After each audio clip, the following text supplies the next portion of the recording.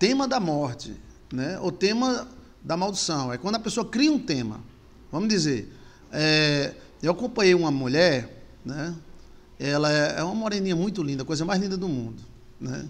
Mas só que a mãe dela escolheu ela para ser a doente da família. Realmente ela tinha uma alergia muito forte. É, a, a, família tinha uma outra, uma outra filha que também tinha problemas de, assim, mental, né? Mas a mãe escolheu ela e apelidou ela de caixa da doença, né? Então todo mundo que chegava perto dela, como é que vai, Cicraninha? Cicraninha? Ah, meu amigo, tá escapando que nem gás. E é, é. Aquilo é a caixa da doença. E eu tinha nove anos na época. Nove anos eu achava já uma mulherzinha bonitinha, que era linda. Nove para dez anos eu achava, né? Que ela era morena e um tipo de morena assim diferente, né? Cabelo escorrido. Aí eu, aí eu ficava, mãe, por que a dona fulana chama fulana caixa da doença? Bem, a mãe botou isso na cabeça, meu amigo, que ela era, né? Temos que ter cuidado com as palavras que saem da nossa boca, porque se forem palavras de maldição, o futuro e outros ficará comprometido por conta disso. Alcione, tá certíssima. Então, é, ficou dizendo a caixa do doente. Aí a menina, meu amigo, era remédio, era, era anti, anti-alérgico, era. Magrinha, meu amigo, magrinha, mas mesmo magrinha era linda. Né? E a mãe, ah, fulana, hum, né? Fulana é o nome até de uma pessoa que está aqui na, na, na, na, live, que é o nome dela. É fulana, aquilo é um, uma caixa da doença, aquilo é doente demais. Eu não sei se aquela menina nem sobrevive na vida. Ela criou um tema. Então nós não podemos criar temas para a desgraça, temos que criar tema para a graça. Muitas mães criam temas para a desgraça. Elas olham para o filho ou para a filha, tiram uma ideia do filho e da filha e jogam. Essa menina não tem sorte com o homem. Essa menina não vai ser feliz. Essa menina não dá sorte com o homem. Essa aí fica repetindo. Aí ela cria um ambiente conforme a mente dela. Tá entendendo? Então, eu vou lhe citar três exemplos, tá? Negativo e três positivos. Então, essa caixa da doença, que era essa menina, né? Inclusive o nome dela era Neuza, né? Por isso que eu falei aqui, Dona Neuza, né? O nome dela era Neuza. E eu gostava muito dela. E gosto, né? Porque faz muito tempo, isso é o quê? Muitos anos. Eu tinha 9, 10 anos. E aí, a caixa da doença, a caixa da doença, minha, tome remédio, tome remédio, tome remédio por cima, tome remédio por baixo, tome remédio de lado. Era. A menina parecia que estava debaixo de uma palavra, né? Por isso que temos que ter cuidado com o que lançamos, principalmente para nossos filhos. É, então, apareceu um velho, né? apareceu uma, uma pessoa na vida dela e ela se relacionou Aí a gente ouvia ela, a mãe dela dizendo, né? Tá vendo que isso não vai dar certo? A menina é doente. Qual é o homem que vai querer uma mulher doente? Ela botou na cabeça essa miséria e não tirava mais, né? O, cara disse, pô, bora-se embora, menina, que eu cuido de tu. Eu dou tretreque, remédio e cachete. Você já tomou cachete, já? Quem é que já tomou cachete aqui? Dona Neuza já tomou cachete. O que é cachete, hein? Quem é que tomou cachete? Não é outra palavra, é cachete. É, é, é, Salles também tomou cachete. Krau, eu não sei a idade de Krau. É, o que é cachete? Você não sabe, você é muito nova, menina. Alcione! É, pronto, Silvia Regina sabe o que é cachete. É, meu filho é muito lindo, rico e poderoso. Amém. Neuza Brito sabe o que é cachete. Deixa eu ver, é muito, é muito ruim isso. Temos que profetizar o bem eu quero saber quem é que sabe o que é um cachete. Girlene! Girlene Nunes Cândido Cândido. É um comprimido, pastor. Cachete é, é cachete, é caixinha em francês. Ah, em francês é cachete, fita, cassete, né? Eu não sei, Raquel Firmino. Cachete é comprimido. Você tomar um cachete, não é cacete não, é cachete. Então o velho disse: Bora, menina, que eu vou dar um cachete em você e você vai ficar boazinha das cabeças. Aí o cara casou com ela. E a mãe, meu Deus, coitada, meu pai, a, a menina é muito doida. Uh, engordou, a alergia foi embora. Parece que o cachete que o caba deu para ela é bom. Então, ela tomou muito cachete. Não, ela saiu do poder da mãe, que a mãe tratava ela como uma, lasque, uma lascada. Entendeu como é a coisa? A mãe tratava ela como uma lascada. É, então, não é do meu tempo. Não é do seu tempo, dona Neuza. Oxe, é, é assim, apoio eu tô ficando velho. Porque é o seguinte, antigamente, não é porque eu, eu convivo muito nos sítios, né? E nos sítios se mantém muita tradição, né? Aí às vezes dá uma torcida perto de um velhinho de 90 anos, aí o velhinho fala, ô oh, meu filho, toma um cachete para ficar bom. Uns cachetes bons que se vendem lá nas bodegas. E é, o cachete era aquelas caixinhas de comprimido, né? É. Então foi só sair de perto e a mulher ficou boa. Ficou boa. A última vez que eu vi ela, eu estava com 16, 17 anos, eu estava no exército, 18. Era. Oxe, gorda, bonita, pegou, pegou mala, é, pegou iceberg, é, o cabelo melhorou, e esse negócio de homem terapia, foi homem terapia também, mas ela saiu debaixo de uma boca da mãe, que a mãe acha, via, a mãe ficava até admirada se ela, o que? Você não toma mais remédio? Você não, você não, você não tem mais crise alérgica? Não. O que, que você tomou? Cachete. Ah, você tomou cachete? Foi? Foi. Tome cachete. Aí eu fiquei boa. Cachete é caixinha de comprimido.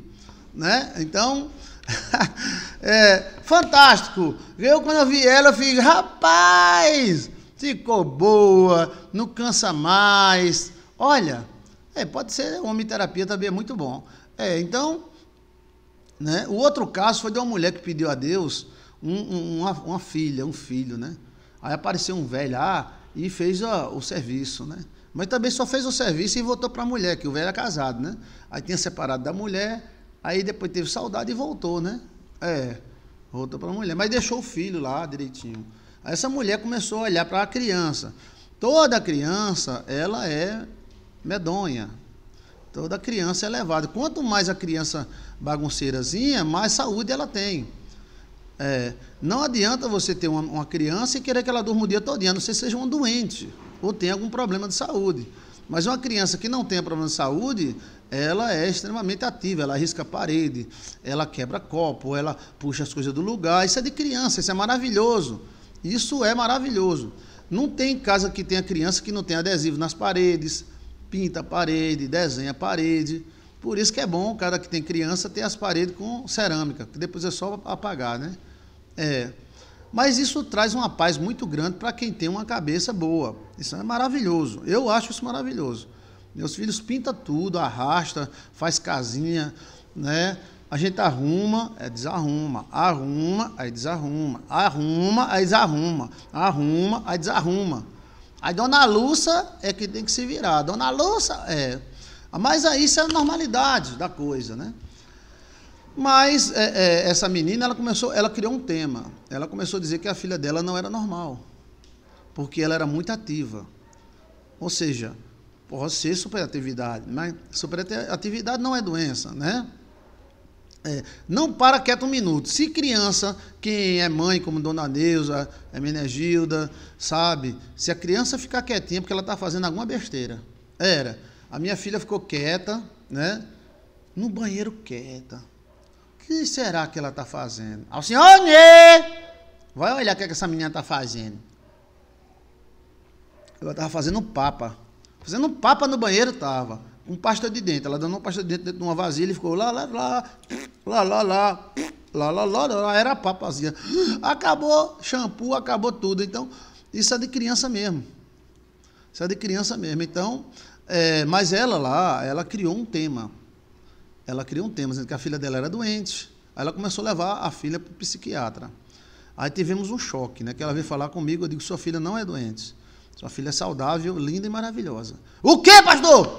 É, o que, que o senhor falou? Que sua filha era, é saudável, linda e maravilhosa. O que, pastor? O que, que o senhor falou? Que sua filha é linda, saudável e maravilhosa. O que, pastor? Ave Maria! Tu quer aprender decorar, é? Porque se eu tivesse dito que a filha dela, dela realmente tem um problema, ela. É mesmo? Ai, coitado! Não. Mas eu disse que a filha dela era linda maravilhosa. E era mesmo. E é ainda. Né? Aí ela foi primeiro psicólogo, o segundo psicólogo, o terceiro psicólogo, e os psicólogos dizendo, não, essa menina é normal, não tem nada a ver, não. É porque ele, ela demora a dormir de noite, pastor, ela, ela mexe as coisas, ela mexe, doutor, nas coisas, ela pinta a parede, ela faz lama, ela não pode ver uma poça de lama, ah, pastor, doutor, né? Mas quem procura, acha. Mas quem procura, acha. Aí os psicólogos já estavam, procura um psiquiquiquiqui, Psiquiquiqui é um psiquiatra. Ela foi para um psiquiatra. Já não era psicóloga, era psiquiatra. Aí o psiquiatra olhou e disse: Não, tá normal a menina, isso é assim mesmo. Só que ela não dizia que ela, ela queria que a menina dormisse o dia todo e dormisse a noite toda. Não é assim. E faltou alguém para orientar ela. Mas talvez tivesse alguém para orientar, mas ela não queria. Isso é muito do instinto da pessoa, né? É. Quando eu falei que a filha dela era abençoada, ela ficou com raiva, né? É. Então, o que, é que acontece? Ela foi para um psiquiatra, o psiquiatra disse não, foi para o outro, não. Quando ela foi num, aonde só pensava, não, coisa é distúrbio da baixa da égua, da esquizofrenia da, do, da casa do não sei de quem, pum, lascou. Taja preta, taja preta e taja preta, taja preta, tome taja, taja preta e tome, tome, tome taja. Tome taja na menina. Lascou. É, procurou demais. Também é o seguinte, o médico ele vai julgar você pelas suas palavras, principalmente nessa questão psiquiátrica, né? Não existe exame assim, um exame de sangue da cabeça.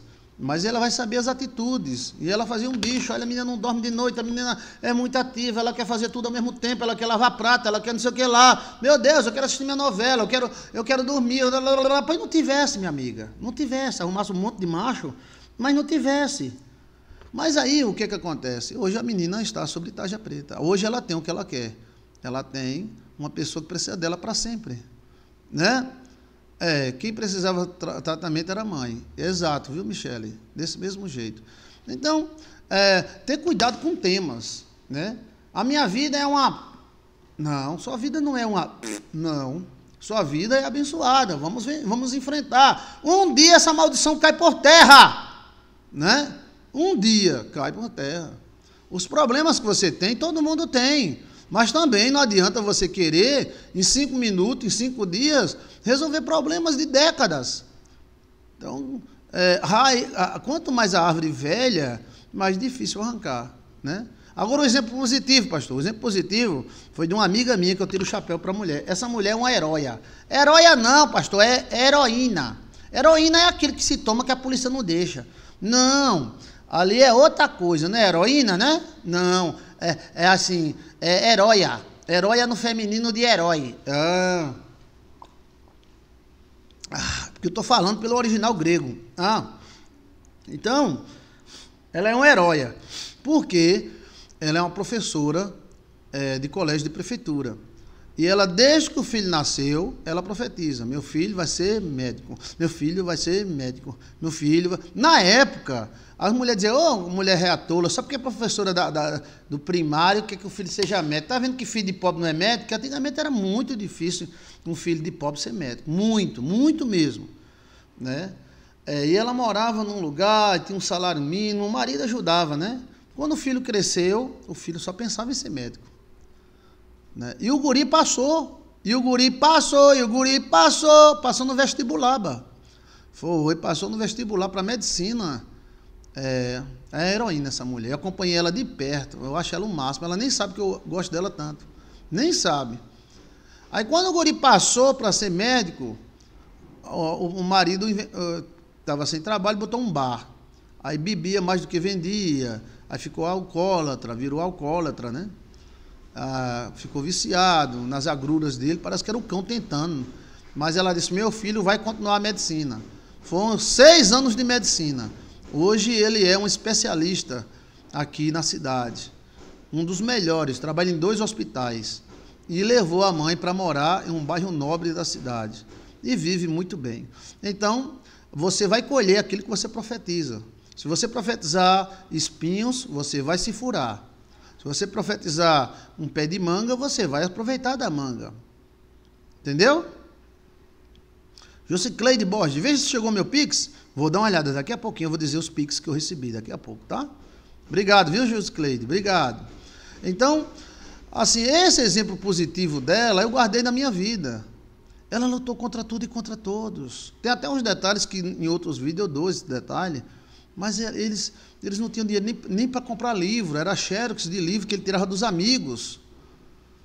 É, ia para a universidade a pé, porque não tinha dinheiro, ia comer pão com ovo, porque na época não tinha o alojamento, a comida. Palavras têm poder, pastor. Adelita Moraes tem.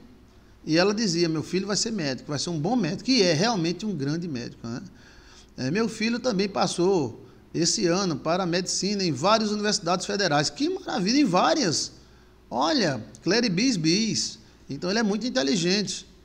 Né? Então, você tem que profetizar contra os problemas e a favor da solução. Escuta o que eu estou falando? Profetizar contra os problemas e a favor da solução. E esse tema, chamado tema, é, tema da vida, você quem cria. Se você achar que sua vida é uma desgraça, sempre será. Se você achar que sua vida é uma merda, sempre será. Se você achar que sua vida é uma vida normal como qualquer outra e você vai conseguir chegar lá, vai vencer seus gigantes, como Jacó vai vencer tudo, então você conseguirá. Hoje é normal pobre ser médico, mas para eu sou pobre, com muito orgulho, posso comer, não devo ninguém, não devo a ninguém. Sou pobre, com muito orgulho, não devo a ninguém. Isso é bom demais. É mais ainda é ter pastor Joilson como nosso sacerdote. Amém. Obrigado, dona Neuza. Neuza, com toda a dificuldade do mundo, formou o filho dela em medicina, né? É, lutou muito. Que Deus abençoe e que ele ame muito você, né? Que a mãe é muito especial. A mãe é coisa é uma mãe dessa é maravilhoso. A mãe dessa é maravilhosa. Às vezes porque não reconhece, só reconhece depois que vai embora, né? Mas aí, é, mas ela lutou muito. Então é um exemplo também de Dona Neuza, uma mulher forte. É, ele é muito inteligente, pastor, mas sempre profetizei na, na vida dele. Claribis, bis. Exato, Claribis. Olha, não é inteligência que dá vitória a ninguém. Tem que ter uma sorte. Tá? O cara tem inteligência e não consegue nada na vida. É. Falou muito Dona Neuza. Dona Neuza, ela é o exemplo vivo. Ela pobre, né? Pobre é assim, ela tem o que comer, tem as coisinhas dela, mas não tem aquela polpa, né? Ela profetizou, segurou a barra e o filho virou médico. Então, a questão é, qual é o tema da sua vida? Você está fazendo que tema? Que tipo de novela você está fazendo da sua vida? Uma novela mexicana, dramática, ou uma novela de ódio, né? Qual é o tema da sua vida? Qual é o tema dos seus filhos, né? É, qual é o tema dos seus filhos? Aí também outro exemplo. Existe um lugar chamado Buraco da Gia. Nesse buraco da Gia, tinha uma mãe que tinha um filho. O menino era danado. O menino subia, o menino descia, o menino corria, e essa mãe dizia: Eita, esse menino, esse menino, ele é muito ativo. Tudo que o menino fazia, ela via e profetizava coisa boa. O guri era danado mesmo. Aí ele dizia: Esse menino vai ser muito esperto. É.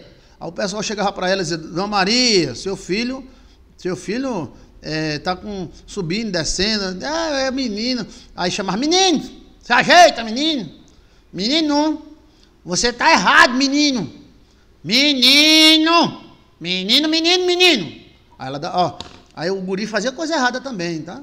Aí quando o guri fazia coisa errada, o pessoal, Dona Maria, vem cá, seu filho está fazendo coisa errada. Não é que ela cobriu o erro dos filhos, mas eu nunca vi ela profetizar nada contra. Ela chegava, vem cá, menino. Menino, menino, eu não quero ver mais você andando por aí, tá bom? Agora pode ir. O guri, o guri tá certo, mamãe né? E o guri andava de pé descalço, só tinha um shortinho, às vezes não tinha nem cueca, porque só tinha só, só o sinozinho, só o, o shortinho. Mas o guri era ativo demais. Subia, descia, descia, subia. E a mãe não dizia nada. Não dizia nada. Já tinha outro menino, meu amigo, que era quietinho, ia para a igreja, e o pai dizia: Isso é um miserável, isso é um condenado, isso não é filho de bênção, não. Tá vendo que Deus não, não ia dar um filho. Mas qualquer coisa, se o menino soprasse um pum, o pai, ó, isso é um filho maldito. Era. Esse cara teve que lutar muito para se libertar. Já esse outro guri, ele deu sorte. Quando completou 18 anos, ele fez o concurso da polícia, polícia passou, foi virar policial. Ao invés dele estar tá correndo Né? Ele correu agora de atrás de ladrão, né?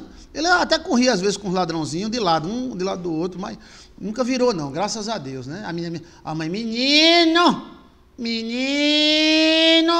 É, minha mãe dizia, querem espíndola diz. Minha mãe dizia, você vai sofrer muito na vida. Vai, mas tá vendo? Quantas mulheres já acompanhei isso? Ó, por isso que querem sofre tanto, meu Deus. Uma mulher que não merece sofrer. É linda, maravilhosa, tem duas filhas lindas e sofre muito. Eu conheço o sofrimento, né? Porque eu conheço sua história. Olha aí, tá vendo? Olha que palavras malditas que a mãe dela dizia. Ó. Ela, ela mesmo diz aqui, ó. Minha mãe dizia que eu ia sofrer muito na vida, ó. Gente, você está entendendo o que eu estou falando? É um tema. É, gerou um tema em cima dela. Ela é, é jovem, bonita, inteligente. Tem duas filhas lindas, parece Marilyn Monroe. As filhas dela parecem Marilyn Monroe. Ela é uma sacerdotisa, mas só leva na cabeça. Só sofre a vida toda dela sofrendo. Não sei como é que essa mulher aguenta tanto sofrer, né? Mas Jesus vai quebrar a palavra da sua mãe, porque sua mãe não é Deus. Se sua mãe fosse Deus, a palavra dela não caía por terra, não. Mas sua mãe é uma mulher como qualquer outra, cheia de problema. Né? Então que Deus quebre essas palavras da sua mãe através dos votos, das orações e que você, querem, um dia venha ser muito feliz na sua vida. Que é muito bom ser feliz. Você amanhecer o dia com paz e dormir com paz, né? Não é ser rico, ter um jato, se tiver, amém. Mas assim é você a levantar o dia e dizer glória a Deus, graças a Deus, eu tenho uma vida satisfatória. Eu sei isso, aí voltar, sou livre. Está entendendo? Isso é bênção de Deus. Agora, olha que a mãe dela lascou ela. Você vai sofrer muito na, na, na tua vida. E tem mãe até que diz: vai chorar lágrima de sangue. Tu vai chorar lágrima de sangue. Está repreendido, Satanás, porque demônio também usa mãe, viu? É, é. Minha mãe também dizia, mas eu repreendia e mandava voltar para ela. Pronto, simples assim. É, Silva é Regina. É. Minha mãe também falou isso comigo, mas eu sou uma bênção e creio em Deus, no poder de Deus. É, Guilherme Alexandre. Ô, oh, Guilhermão, eu não sei por que isso, né? Se a pessoa não concorda com o filho, se choque, fale besteira para ele, mas amaldiçoá-lo, né? Aí depende, né? Tem filho que merece, mas tem filho que não merece. A maioria da, dos filhos que levam esse tipo de palavra, eles não merecem. Eles não merecem. É os pais que falam isso, porque também a, os avós falaram. É, então, é, ele virou policial, depois virou sargento, depois virou oficial. Né? Hoje ele é aposentado, o top. Né? Porque eu, conheço muitos oficiais tá? da PM. Esse é um dos que cresceu comigo, né? Um dos. E eu conheci ele desde pequeno, que estudou no mesmo colégio que eu, né? E o guri era ativo demais. O guri, quando a, a buzina lá, o sino do, do, do, do Luzia Dantas batia, que era o colégio chamado Luzia Dantas, bem, bem, bem, bem, bem, bem, bem, o guri, cadê o guri? O guri já saiu, parece uma bala. Corria, subia. Eu nunca ganhei dele na corrida. Ele sempre foi bom demais na corrida. O cara corria. Eu queria correr até como ele. Ele corria com a mão para trás, assim, ó. Aí eu botava a mão para trás, ver se eu corria do mesmo jeito, mas era dele mesmo, né? É, mas a mãe, eita, esse menino vai ser uma benção, meu Deus do céu. Aí hoje ele está bem de vida, bem casado, ele está aposentado, ele já deve estar tá, o quê? Há uns 55 anos, né? Ou uns 50 anos, a minha idade, a base da minha idade, né? E a mãe abençoou ele. Então, qual é o tema que você está gerando sobre os seus filhos? Se você gerar um tema assim, meu filho é um tadinho, aí ele vai ficar um tadinho. Ai, eu sou um coitadinho.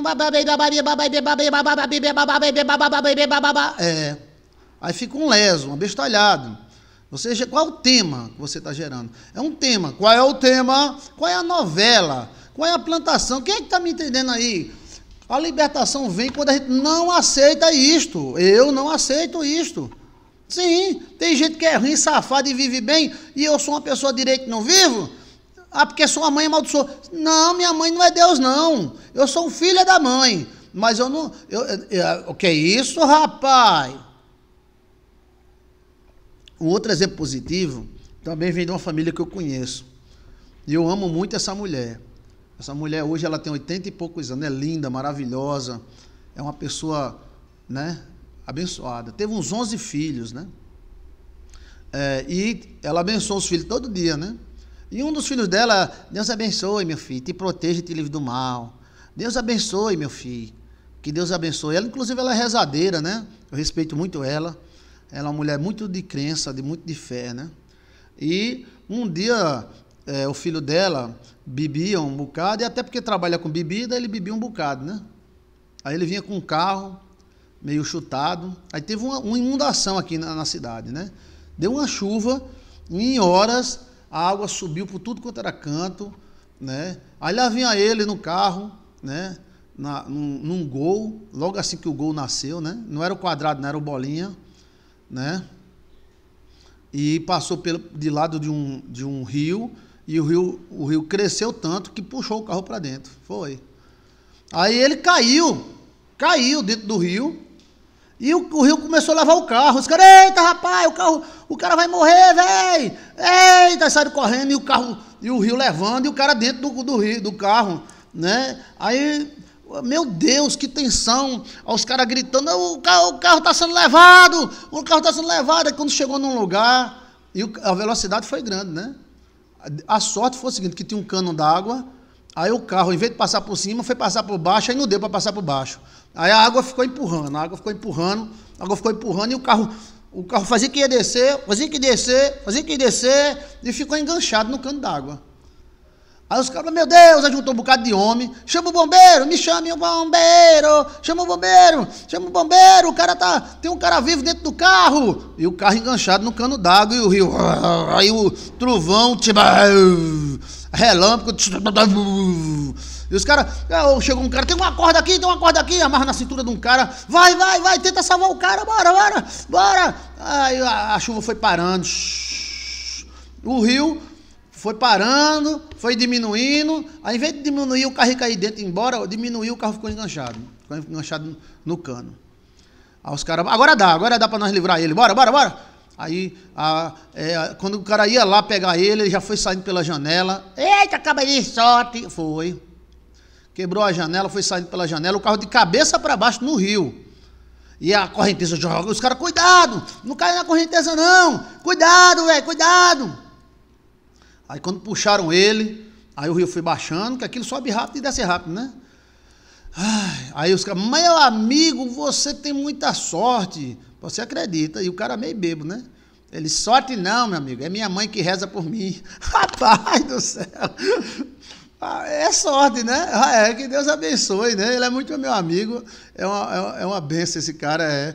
Aí ele disse, é, não, não é sorte, não, é minha mãe que reza por mim, que a mãe dele reza dia e noite pelos filhos, né? A mãe é muito rezadeira, né? É, e muito amiga. A mãe é amiga de todo mundo, amiga dos crentes, amiga de católico, amiga de espírita. A mãe dele é uma das pessoas mais simpáticas da cidade, né? É. E aí ele disse, não, isso aqui não é não é sorte, não. Isso é minha mãe que reza por mim. Deu sorte. Aí os caras, e agora? O que, é que nós vamos fazer? Ele disse, rapaz, é, tenta abrir ali a mala do carro, puxa lá uma, uma, uma grade de cachaça, é, é, é, pitu, não, é caranguejo, não é pitu.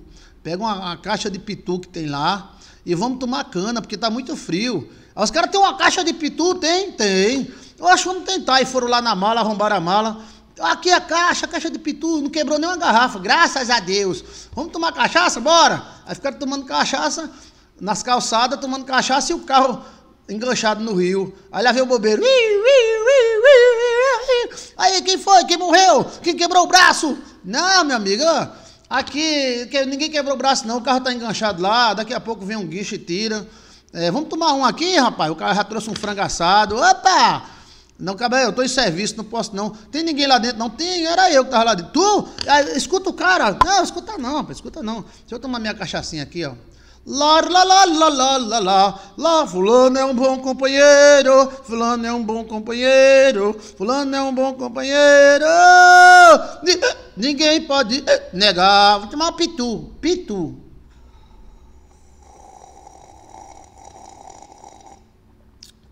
É, ah, o cara é bom de vida, bem de vida demais, é um cara fantástico. É. Aí ficou todo bebendo na calçada, olhando o carro. Aí os caras, será que vai chover de novo? Bem, mas se chover não dá para levar o carro não, que o carro enganchou mesmo a, a, tampa do motor ali, não sai não. Eita, acabou o carrinho bem novinho, né? Um golzinho bola, Mas, rapaz, mas afirma jeito, oxe, afirma jeito, meu amigo. O importante é que nós está vivo. Mas, rapaz, tu tem muita sorte, né? Graças a Deus e minha mãe que reza por mim. Se beijo, menino, nome do pai, nome do filho, nome do pai, nome do filho. É. Que maravilha! Que maravilha! Não, não é necessário você ser crente da religião, é você orar pelos seus filhos. E os filhos ora pelos pais, né? Comemorou com bebida. Oxa, cachaça, meu amigo.